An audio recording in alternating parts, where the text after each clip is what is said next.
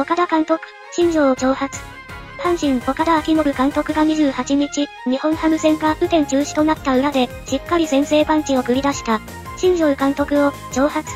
先発が流れた山崎について、明日3番に入れるんちゃうかと不敵に笑った。敵将は戦前、打力の高い左腕の起用を、3番も年差したが、それほどの打者なら、当番 B 以外も使うべきでは？そういうことちゃうの？明日3番に入れたら、大したもんやけどなと、期待した。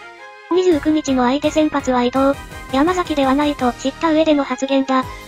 今日もほんまに3番やったかわからへん。そんな決まってもないことをと笑い飛ばしながらも、新庄監督の心をくすぐる珍提案。実際は7番だったようだが、試合がなくても、絶戦には応じた。広島が勝ったため、13日ぶりに首位から陥落した自軍は、村上の出番を6月4日の楽天戦まで持ち越す。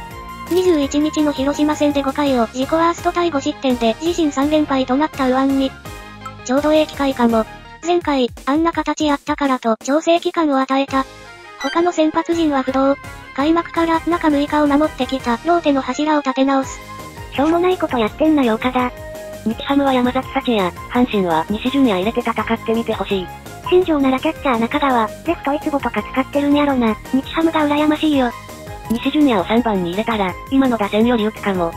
仲いいな、試合になればバチバチやるんだろうけど。